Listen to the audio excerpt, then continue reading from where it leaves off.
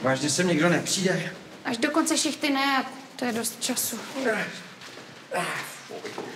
Tak to mám radost. Smrdí. Hlavně, že jsi neublížil. Ne, jsem v pohodě. Měl jsi říct, abych se otočila. Tak se slíkně taky? To by si přál? No, tak. Tam se vyjdeme oba. Nebo se stydíš? Ne, já jenom... Uh, No jo, jasně, já smrdím. no, víš, jak se s tom vyválel, tak...